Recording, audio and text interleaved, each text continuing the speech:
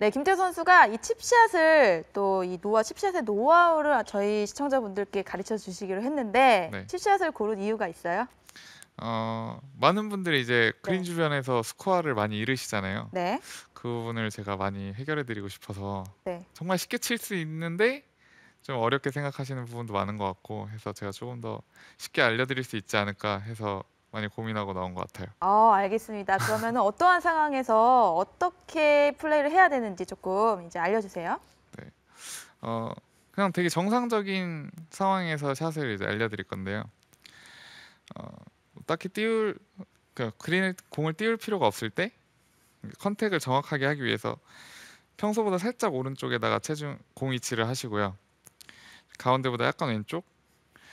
그리고 이제 몸의 움직임을 조금 줄여야 돼요. 네. 아니 손의 움직임을 줄여야 돼요. 네, 손의 그러니까 움직임을. 백스윙은 몸을 잡아놓고 이 오른쪽 하체가 잡혀 있는 상태에서 헤드만 먼저 지나가시고요. 그 상태에서는 다 같이 이제 몸을 같이 이런 식으로 열어줘서 페이스가 오래도록 유지되고 가파른 스윙을 할 수 있도록 그렇게 contact을 좀 정확하게 가져오시는 게 중요한데요. 쳐볼게요. 네, 그럼 상황은 그냥 아주 평범한 상황이고, 네, 네, 이제 좀 컨택을 좀 정확하게 할 수 있는 그 방법이네요. 네. 네, 다시 한번 보여주세요. 많은 아마추어 분들 이제 보시면 보통 이렇게 몸을 잡아놓고 손으로 약간 이렇게 손으로 많이 치는 분들이 많으시더라고요. 오, 저도 많이 봤어요. 네, 그렇게 되면은 오히려 더 일관성이 많이 떨어지게 되니까 백스윙은 간단하게 이제 헤드만 보내주고 그 상태에서 몸으로 이제 칩샷을 할 수 있도록 네, 지금 아까 말씀하신 대로 많은 아마추어 분들이 진짜 손을 너무 많이 쓰세요. 네, 그래서 뒷땅도 치시고 그 탑볼도 치시고 해서 온탕냉탕 진짜 많이 하시거든요. 그럴 때는 손을 쓰는 게 아니고 몸으로 리드를 해야 정확하게 칠 수 있다. 네. 네, 다시 한번 볼게요. 오른발이 떨어지는 거를 별로 무서워하지 않으셔도 될 것 같아요. 아마추어 분들 치실 때. 네, 이렇게 샷을 보니까 백스윙을 할 때는 체중 하체의 체중 변화가 거의 없어요. 네. 그렇죠. 어, 컨택을 네. 네, 컨택을 정확하게 하기 위해서 가파르게 치기 위해서 약간 왼쪽에 체중을 실어 놓고요. 네. 거기서는 이제 체중 변화 없이 그냥 턴으로만 공을 맞힐 수 있게. 네. 그러면 뭐 공의 위치나 이런 거를 조금 자세하게 설명해 주세요. 손의 위치도 있을 테고 이제 헤드 웨지 같은 경우는 클럽 페이스를 잘 이용을 해야 되잖아요. 네. 페이스의 각도를. 근데 그런 거를 뭐 또 엎어놓거나 이런 이런 분들도 많이 계시거든요. 네. 그래서 잘 굴리기 위해서는 어떤 자세를 가장 신경을 써야 하나요? 어, 일단 공 위치가 살짝 평소 이게 가운데라면 살짝 오른쪽에 있고요. 공보다는 손이 약간 앞쪽으로 리드돼 있고 왼쪽 체중도 전체적으로 리드돼 있고 네. 아, 한쪽으로 실어놓고 여기서 안 움직이고 턴을 이- 이용해서 치는 게 조금 포인트인 것 같아요. 아, 네. 그 평소에 공의 위치와 공의 위치는 변화가 있, 나요 평소 같은 경우는 약간 이런 네. 느낌으로 셋업을 한다면 네. 가운데 정 가운데 네. 있죠 지금 공에. 가운데 체중도 조금 이렇게 가운데에서 이런 느낌이면 이제 좀 쉽게 칠 때는 한두 개 정도? 네 하나 네, 공 하나 정도 오른쪽으로 오고 그러니까 체중 자체가 좀 왼쪽으로 실리면서 손위치도 자연스럽게 왼쪽으로 오고요. 네. hand first 동작이 나오는 거죠. 네 네. 왼쪽에 실어놓은 상태에서 그냥 이렇게 몸의 턴으로만 스윙을 가져가는 게 좀 포인트인 것 같아요. 네. 어, 그렇다면 지금 초고속 화면 보면서 다시 한번 설명해 주세요. 지금 hand first가 조금 많이 돼 있고요. 백스윙 때는 하체를 좀 많이 잡아놓고 대신 여기서는 좀 많이 열리는 게 포인트인 것 같아요. 그래서 손의 움직임을 좀 최소화할 수 있도록 하고 네 이래서 다운스윙을 시작할 때 이제 오른쪽 하체를 많이 잡아놓으시려고 하는데 그것보다는 자연스럽게 턴이 될 수 있도록 어, 오른... 발이 떨어지는 거를 네. 네, 무서워하지 않고 그냥 몸으로 리드하셨으면 좋겠어요.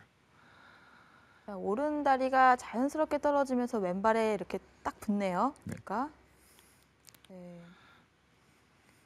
그래서 몸이 완전히 타겟 방향으로 돌아주는 게 네. 포인트네요. 네. 네. 어, 그럼 제가 질문 한 가지만 더 할게요. 네. 이 그립의 악력을 얼마 정도 잡는지 궁금해요. 어프로치 같은 경우는 큰 샷이 아니지만 그렇다고 또 너무 느슨하게 잡진 않잖아요. 네. 김태우 선수 같은 경우는 어느 정도로 그립을 쥐나요? 저 같은 경우는 되게 가볍게 쥐는 것 같아요. 그래도 만약에 10이다 하면 이 정도. 이 정도? 네. 그 거의 논 거 아니에요? 굉장히. 네. 네. 어, 만약에 강한 그립이 강한 것과 약한 네. 것이 있다면 저는 무조건 약한 게 낫다고 생각하거든요. 아, 그 이유가 뭐죠? 이유는 이제 손에 힘이 빠져야 네. 이 헤드 끝에 무게를 느끼기가 훨씬 유리해요. 아. 헤드 끝에 무게를 느낄 수 있어야 리듬이나 그 스윙을 일관되게 가져가기가 훨씬 좋거든요. 네. 그래서 손은 항상 가볍게 가져가고 대신 이 샷, 이 짧은 숏 게임을 하면서 이 악력이 변하지 않는 것도 되게 중요해요. 아, 시작과 끝이 네. 능력이 그대로 있어야 한다. 근데 10 중에 2라고 하면은 좀 약한 거 아닌가요? 근데 근데- 굉장히 견고해 보이거든요. 제가 봤을 때는. 그래요? 네. 그립은 견고하게 잡되 힘의 네, 힘은 최대한 굉장히 부드럽게 잡는 최대한 거. 부드럽게. 네, 한번 볼게요. 네, 손에 힘이 빠져야 헤드 쪽으로 무게 전달이 되기 때문에 더 잘 어프로치를 할 수 있다고 합니다. 네. 네. 자, 그렇다면 여기서 가장 중요한 건 이제 거리예요, 거리. 네. 칩샷에서는 이제 핀에 붙이는 게 목적이잖아요. 네. 이 거리를 잘 맞추기 위해서 또 비법이 있을 것 같아요. 네. 저는 스윙 크기로 많이 조절을 하는 편인데요. 네.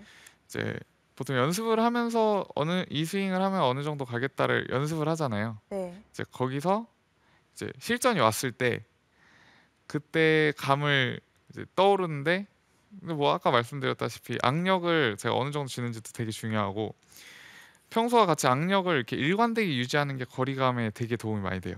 네.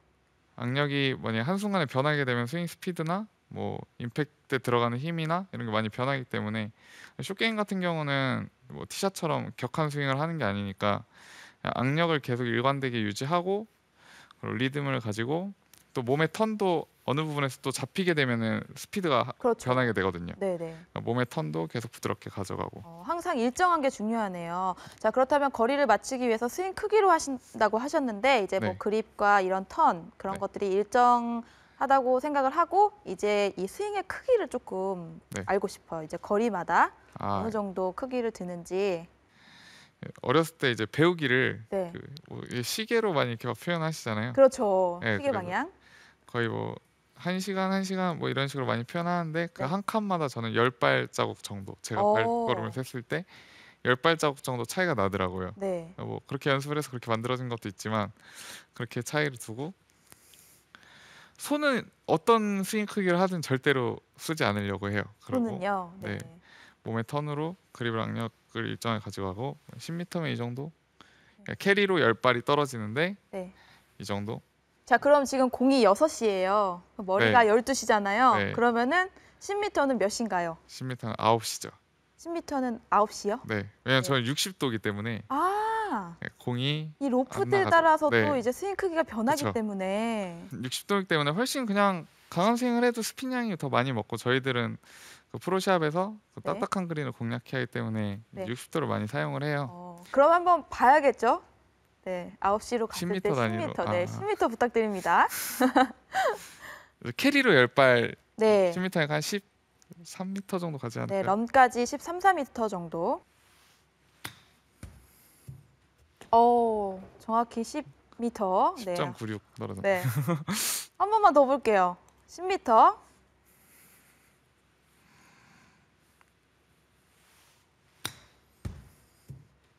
네, 정확하네요. 자, 그렇다면 20m와 30m까지만 좀 보여주세요.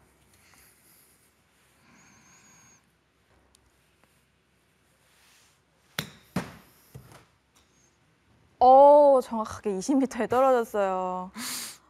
네. 한 번 더 찍어. 아니 30m. 네, 한 번 더 보여주세요.